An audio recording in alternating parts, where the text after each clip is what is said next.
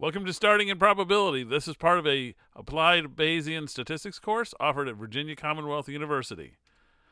Okay, so we're going to really start formalizing what we mean by probability. We saw empirical probability just to kind of give you the notion of what's going on. Uh, but now we really want to start formalizing things so we can really talk about probability. So recall that probability is the language of uncertainty. So it quantifies that uncertainty. When I say quantifies it, it means that it assigns it a number, okay? And these numbers, these probabilities, are always between 0 and 1. Probabilities near 0 imply a very unlikely event, and probabilities near 1 implies a very likely event.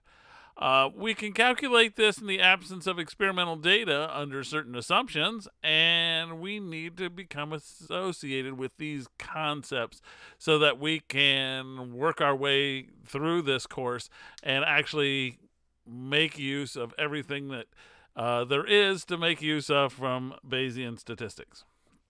Okay, so the first idea is the idea of a sample space. Sample space is the set of all possible outcomes of an experiment. Okay, so it's everything that could happen from your experiment. And I don't say everything that can happen, it's everything that you're looking for to happen out of it.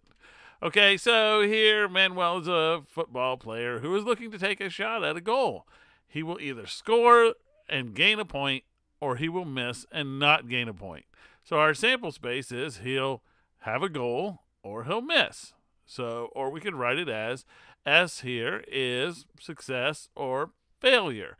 Now, when we think about this, notice it's all the outcomes that we are interested in seeing, right? We don't need to know every outcome in detail of what might happen. We just need to know whether or not a point was gained or not, right? If it wasn't gained, then it was a miss.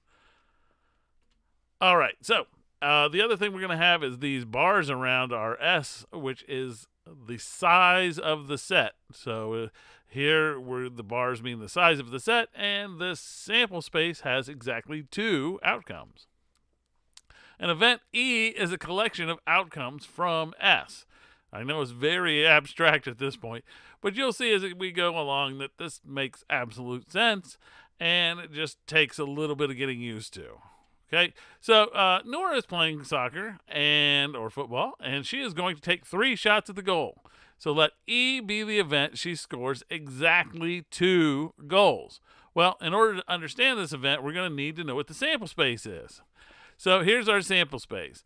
S equals, and well, she's going to take three shots. So she could miss, miss, miss. She could miss, miss, then score. Or she could miss, score, miss or she could score, miss, miss, or she could miss, score, score, or she could score, miss, score, or she could score, score, miss, or score, score, score, right? This is what can happen. This is everything that can happen that we're interested in from this event of uh, taking three shots at the goal. Now, we're interested in what's exactly two goals, right? So these are the only outcomes in here that have two scores exactly two scores, right? This one has two scores, but there's also a third one. So here, E would be this MSS, SMS, SSM. Okay? Now, here notice that our sample space had eight outcomes, and our event has three outcomes. The complement of event is denoted E with a complement or a C above it, like in the exponent, is all the outcomes in S that are not in E. So back to our example from before. So if I'm interested in E complement, well, it's all the other outcomes that aren't the outcomes in E, right? So I would go back here and enumerate all of those and put them in here, and that's exactly what I did. And if you can see that this corresponds exactly to that.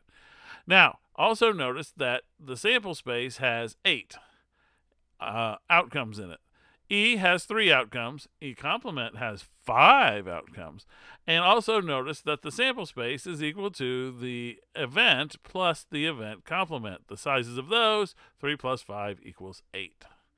All right, so what have we learned so far? Well, we've learned sort of what an outcome is, what a sample space is, what an event is, and what a complement is. And this is the language that we're building so that we can talk about probability and uncertainty in a way that's useful for Bayesian statistics. All right, so we're going to move on to the next video. See you there.